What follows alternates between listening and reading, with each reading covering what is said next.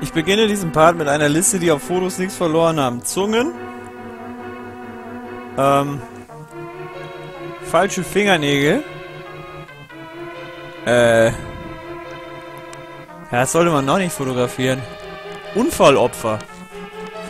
In der Reihenfolge.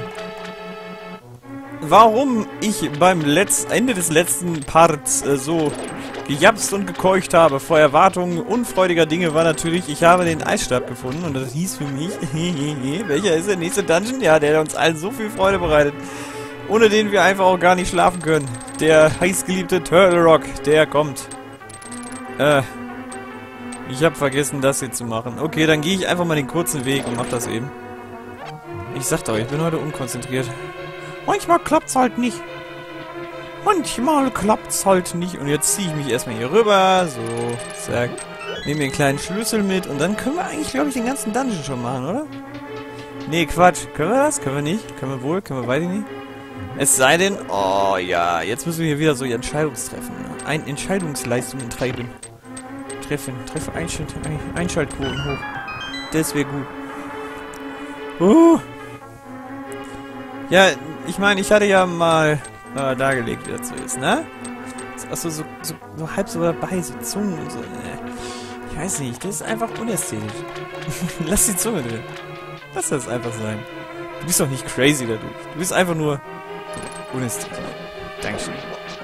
Und jetzt kommen wieder alle Leute, die ja, Maddie gucke ich nicht mehr, der ist wieder gegen mich. Ja, ja, ist okay. Aber man muss auch mal ein bisschen Häme einstecken, ne? Das gehört auch noch mit dazu. Zum guten Leben gehört einfach auch mal ein bisschen so eine Prügelleiste. Jetzt kommen die ganzen Schleimmenschen hier raus und wollen mir Dreck nachsagen. Ah! oh Gott, da der Dodge. Der Dodge war einfach auch klassisch. Klassisch. Yay. Diese Passage ist übrigens im Randomizer viel besser als im normalen Spiel. Bei einem Randomizer gehe ich da einfach durch. Das ist mir egal, da kann ich mich rüberziehen. Kennst du wegziehen? Hey, spinnst du? Ist hier ein kleiner Schlüssel? Bitte mach das hier ein kleiner... Nice. Okay. Ich habe nämlich theoretisch einen zu wenig, glaube ich. Oder? Habe ich nicht? Nee, habe ich nicht. Ich kann das schaffen hier. Ich gehe mal davon aus, dass hier irgendwo in diesem Dungeon irgendwas ist, was mich weiterbringt.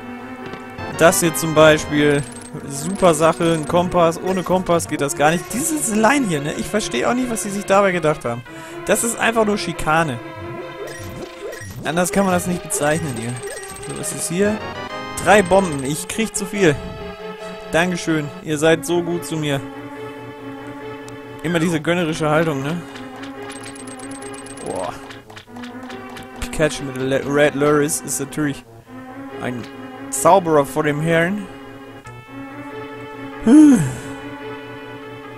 Zack. Irgendwie habe ich das Gefühl, dass ich was ausbrüte. Kennt ihr das, wenn ihr so glaubt, man brütet was aus? Also so krankheitlich? Wir haben immer gesagt, man brütet was aus. Okay, wie ist das mit dem Masterschlüssel? Habe ich den? Nö. Brauche ich auch nicht. Ist okay. Brauche ich nicht. Mach das mit Pikachu alles alleine. Okay, hier war doch... Den haben wir schon geholt, ne? Ja, dann ist das jetzt alles auch eher so irrelevant.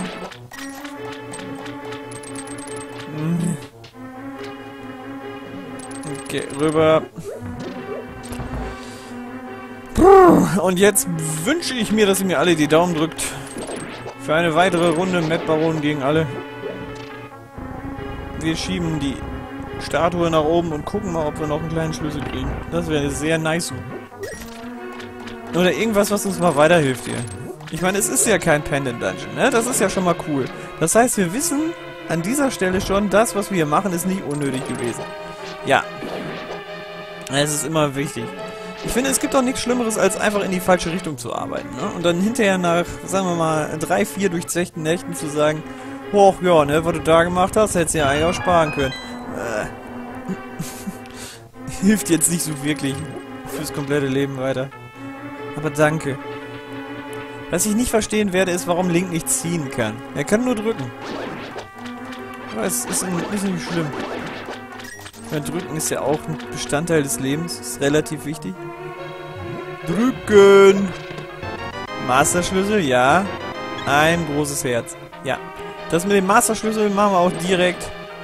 Den lösen wir direkt ein. Weil das ist ja unsere Plus 1 hier in diesem Dungeon. Äh, Pikachu, ich hab nach unten gerückt. Aber kann ja sein, dass du hier einen Marathon machst. Pikachu, du bist ein kleines Dreckvieh. Oh, das war knapp. Hm. Es gibt ja auch so No-Hit-Runs hier, ne? Für die ganz harten. Oh Mann, ich glaube die Plus 1, die wir hier aus diesem Dungeon gekriegt haben, war der Eisstab. Und wenn wir ganz viel Glück haben, kriegen wir irgendwie noch einen Schlüssel. Ja, ich weiß, ich muss das nicht machen, ne? aber ich mach das trotzdem. Der hat ja da irgendwas zurückgesetzt. Dann bin ich der Gelackmeierte. Obwohl, hier war ich noch nicht. Vielleicht ist hier ja ein Schlüssel. Ich hau euch alle kaputt. Hat einer von euch einen Schlüssel? Sie vielleicht? Bist du das? Hast du einen Schlüssel? Nee. Zunge kann ich auch nicht ziehen. Äh. Na gut, dann eben nicht. Was passiert eigentlich, wenn man den Hebel zweimal zieht? Kommt das Wasser dann da wieder hin? Warum kann er da nicht durchtauchen? Wieso? Warum? Weshalb und alles? Ich gehe jetzt in jeden verdammten Raum rein. Vielleicht gibt es ja hier irgendwo noch einen kleinen Schlüssel. Hier drin zum Beispiel. Da bei den Fliesen gelegten, ne? Ah! Nö, nix. Und da ist der zweite Nasenkobold, der direkt wieder auf den Einsatz wartet, ne? Das ist wie bei so einer Wasserrutsche. Da wartet einfach auch keiner darauf, dass jemand das grüne Licht gibt. Da wird einfach gefahren. Und die Kinder sterben alle. Ah! Ja. Eine Schaufel! Au ja! das ist ja so, das ist so ein bisschen wie Sudoku, ne? Du weißt, du hast eine Zahl, die du einträgst, aber damit kriegst du noch kein Bild voll, weil irgendwann kannst du wieder auf Granit beißen. Irgendwann weißt du schon wieder nicht weiter. Uiuiui, okay. Wir haben jetzt überhaupt auch äh, zwei Varianten, die wir machen können, ne? Wir können entweder uns diese göttliche Tortur des Turtle Rock geben, die uns allen ja so viel Freude bereitet, oder wir machen den Eispalast. Geht beides, glaube ich. Oder? Fehlt mir was.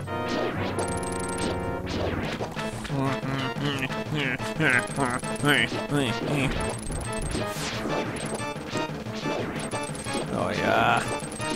Das ist so ein befriedigendes Gefühl.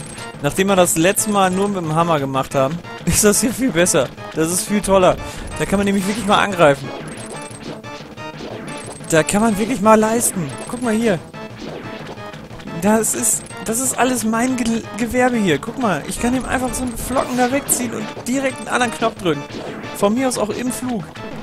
So, jetzt wird ziemlich spannend. Ja, was heißt eigentlich so spannend ist das auch nicht. Weil er ja immer wieder hochfliegt, ne? Nee. Okay. Jetzt ist aber langsam gut. Ja? Wow. Okay, Achtung. Boom. Boom. Yes. Hat sich gelohnt. Obwohl, warte mal. Warte mal. Das ist grün. Und wir wissen alle, was es heißt, wenn es grün ist. Hm. Cutscene wurde geskippt. Wäre auch langweilig gewesen. Heiraten tun die ja eh nicht. Okay. Start. Flöte. Auf geht's. Ich weiß nicht, was der alte Mann für uns hat, aber hoffen wir mal, dass das was Gutes ist. Ansonsten wäre ich ein bisschen stinky. Ich hatte übrigens immer gedacht, dass der Sahasrara irgendwie so ein Alleinstellungsmerkmal hatte, ne? Dass er einfach so der, der Typ von den Typen wäre. Ist er aber eigentlich nicht. Es gibt ja sieben Weisen, er ist nur einer davon. Das heißt, sechs andere sind mindestens genauso cool wie er. Unter anderem der verirrte Mann da oben auf der Koppel. Ja. Oder der eine da in der Wüste.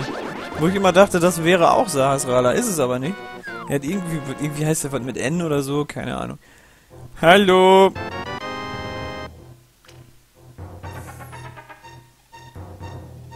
Ja. Ja. Kann man machen. Kann man machen, Brudi. Hä? Was ist mit dem Vogel los? Hat er leider jetzt wieder ein bisschen, äh, äh Drogen genommen, oder? Oh. Dann wollen wir mal einen Wunsch sprechen, ne? Ich habe jetzt keine Lust rüberzuziehen. Ich spreche einen Wunsch. Liebes Tagebuch, ich hätte gerne eine neue Staffel von Brooklyn 99.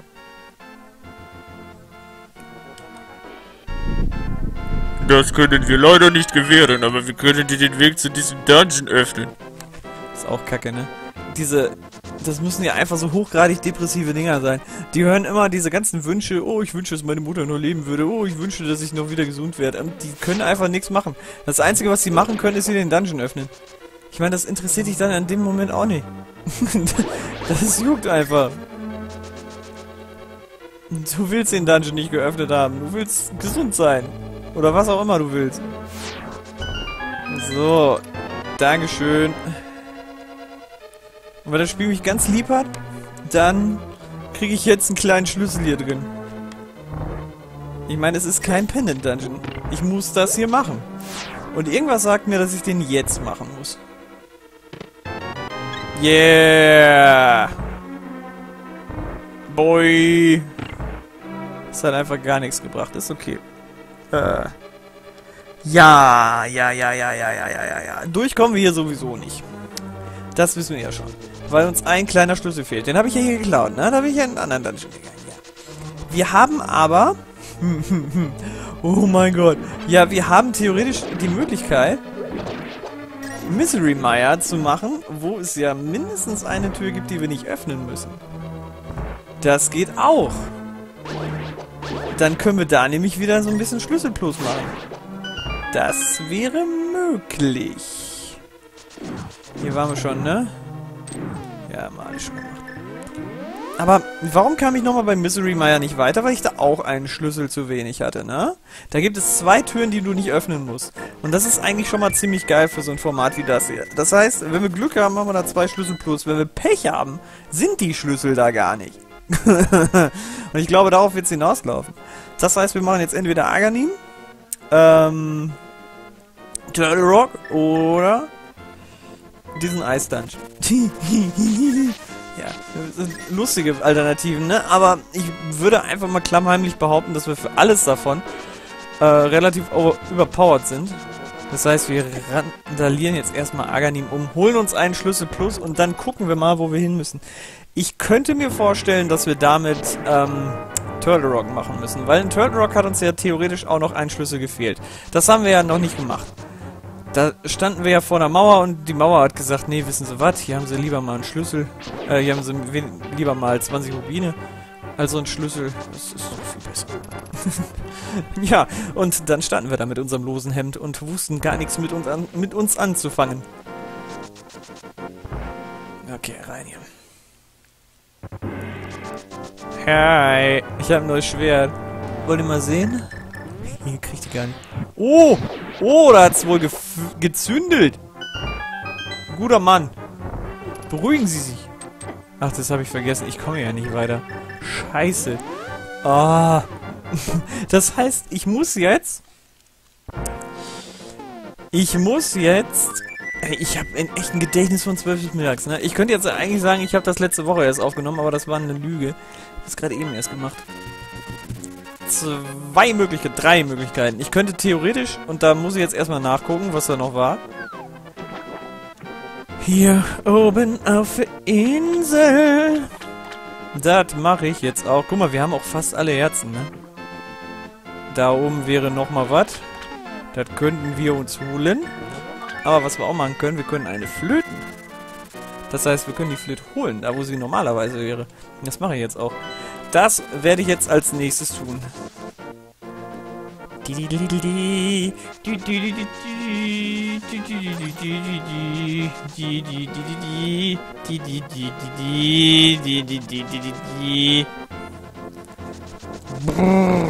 Guck mal, wie er da durchbraust. Wie so ein junger Gott. Pikachu mit dem Laserschwert. interessieren gar keinen. So, wo war das hier? Y drücken, ne? Eins, zwei, drei, vier, fünf. Ich hab da keinen Bock mehr drauf langsam. Das ist einfach so frech. Ich finde dieser dieser ähm, Classic Retro Randomizer ist echt so ein bisschen der Enttäuschungssimulator, ne? Weil du ja überall nur Rubine kriegst. Alles, was auch für Pfeile wären, ne? Ist alles auch nur Rubine jetzt. Alles blöd. Gehört uns alles nicht. Macht uns alles unglücklich.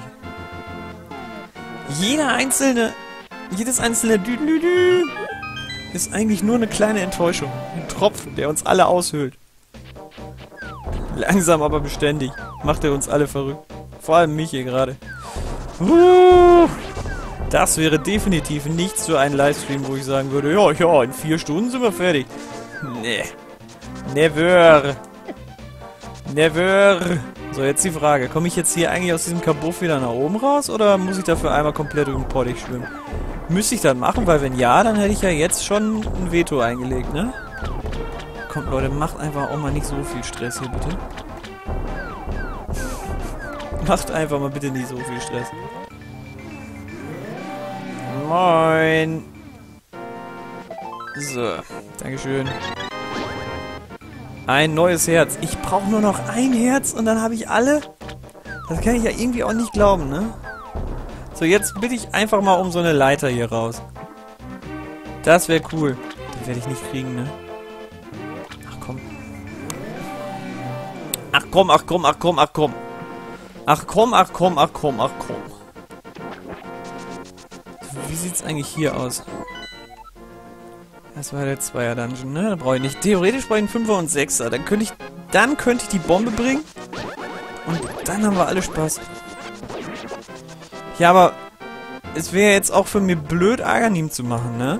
Weil ich würde ja Aganim nur machen, damit ich einen Schlüssel mehr kriege, ne? Aber ich brauche ja einen Schlüssel, um Aganim zu machen. Das heißt, wenn ich Aganim machen würde, wäre ich schon richtig bescheuert, weil dann mache ich mir ja nur mehr Arbeit. Hm. Ja, das ist, das wäre so ein typischer Matti. Da würde ich einfach so machen und denken, ja, ja, ich bin schon auf dem richtigen Wege. Leute, Frau, traut mir, ich bin ein Ingenieur. Und alle so, Matti, nee, das musst du gar nicht machen. Und ich so, ja doch, Natürlich muss ich das machen. Ich kriege einen Schlüssel dadurch raus. Natürlich, klar, Schlüssel rauskriegen, das ist immer wichtig. Yeah. Aber ich kann nicht sagen, dass ich mich nicht unterhalten fühle, ne? Ich meine, du kriegst, ich krieg einfach mit beiden Händen auf der Nase. Aber das ist geil. Das macht Spaß. Das ist schon lustig. Komm, mach mal das Ding hier kaputt. Oh nein. Terrorvogel. Gehen Sie weg. Wie viel zieht er im Original? Vier? Ohne richtige Rüstung? Richtig schlimmes Tier. Habe ich eigentlich den Dungeon da oben gemacht? Ja, da bin ich fertig. Glaube ich. Kann ja sein, dass unter irgendeinem so komischen Totenkopf noch ein Schlüssel auf mich wartet. Den habe ich nicht gefunden und pff, kann ich das ganze Spiel nicht durchspielen, ne? Ja. Mit Spoiler-Datei spielen ist einfach auch für Versager. Diddlidi, diddlidi. Hello. Was geht? Kannst Schlüssel kaufen. Du kannst einen Schlüssel kaufen. Du kannst einen Schlüssel kaufen, ey. Kann ich noch einen Schlüssel kaufen? Ey, was ist hier los? Warum kann ich denn einfach diese fucking Schlüssel kaufen?